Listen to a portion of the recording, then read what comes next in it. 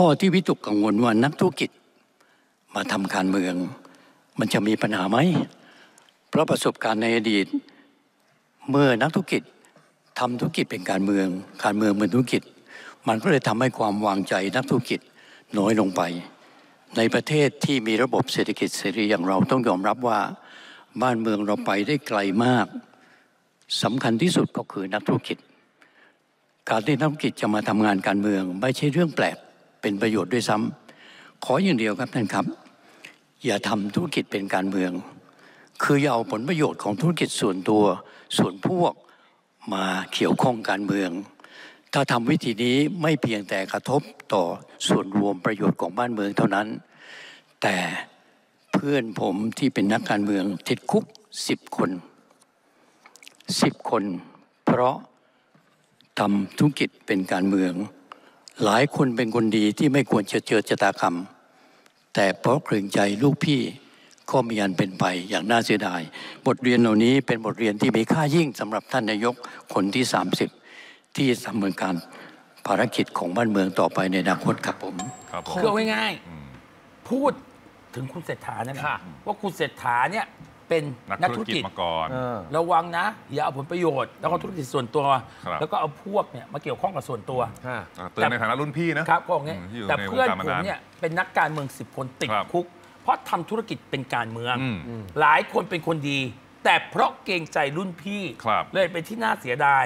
บทเรียนเนี้ยเป็นบทเรียนที่ล้ำค่ายิ่งสำหรับท่านนายกคนที่ 30 ของประเทศไทยครับหลังจากนั้นปุ๊บ นิ่มมาอืมนิ่มกับเศรษฐาไม่ได้อยู่นิ่งฮะครับคุณเศรษฐาเขาตอบอย่างนิ่มๆเลยครับ ขอน้อมรับโอวาทของนายกชวนที่ซับไป ไปฟังกันฮะเรียนท่านประธานรัฐสภาที่เคารพผ่านไปยังสมาชิกผู้ทรงเกียรติเมื่อกี้ท่านอดีตนายกชวนได้กรุณาให้โอวาทกับกระผม รู้สึกเป็นเกียรติครับ น้อมรับคำติ คำแนะนำข้อควรระวัง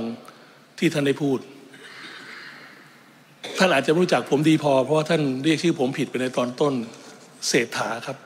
เศรษฐาไม่ใช่เชษฐาครับ ท่านกรุณาบอกแบ็กกราวน์ของผมให้กับเพื่อนสมาชิกอันทรงเกียรติว่าผมทำอะไรมาก่อนนะครับ ผมเองถึงแม้ว่าจะเป็นนักธุรกิจมาก่อน ผมยืนยันครับ ว่าการที่ผมมาเดินตรงนี้มาอยู่ตรงนี้ ผมรักประเทศชาติ ผมมีความต้องการที่จะเห็นพี่น้องประชาชน มีชีวิตความเป็นอยู่ที่ดีขึ้น อนาคตไกลอะนะ เพราะว่าเขาเอาง่ายๆ คุณเศรษฐาบอกขอน้อมรับโอวาทของนายกชวนที่พูด ค่ะ นายกชวนคงไม่รู้จักดีพออเพราะเรียกชื่อผิดตอนต้นไม่รู้จักคุณเศรษฐาดีพอถูกอ่าตนคือเศรษฐาไม่ใช่เชษฐา ครับ แม้เป็นนักธุรกิจมาก่อนยืนยันว่า มาอยู่ตรงเนี้ยเพราะรักประเทศชาติครับต้องการเห็นประชาชนมีชีวิตที่ดีขึ้น ครับเรื่องนั้นก็อยากจ